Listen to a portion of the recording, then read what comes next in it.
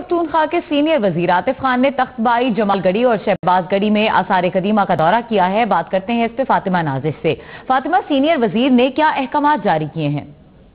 آج بالکل خیبر پختونخوا کے سینئر وزیر عاطف خان نے تخبائی جمال گڑی اور شہباز گڑی میں آثار قدیمہ کا دورہ کیا ہے اور اس موقع پر انہوں نے کافی اہم اعلانات بھی کیے ہیں جن میں سیاحوں کی آسانی کے لیے چیئر لفٹ، آرٹ گیلری اور کیفیٹیریا بنانے کا اعلان کیا گیا ہے۔ اس کے ساتھ سیری بہلول کے راستے بدھ مت کی مقدس جگہ تک جانے والا ہزاروں سال پرانا راستہ جو ہے اسے بھی دوبارہ بحال کرنے کے احکامات جاری کیے گئے ہیں۔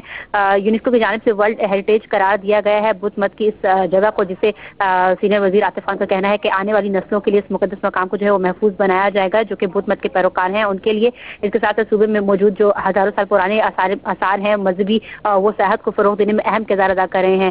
مختلف ممالک میں جو بدھ مت کے پیروکار ہیں کوریا چائنا اس کے علاوہ ہانگ کانگ وغیرہ وہ لوگ بھی جو ہیں بدھ مت کے ان آثار کو دیکھنے کے خواہش مند ہیں۔ لہٰذا ان تمام جو خواہش مند افراد ہیں بدھ مت سے تعلق رکھنے والے ان کو آسان شرائط پر جو ویزے کی فراہمی ہے وہ بھی یقینی بنائی جائے گی۔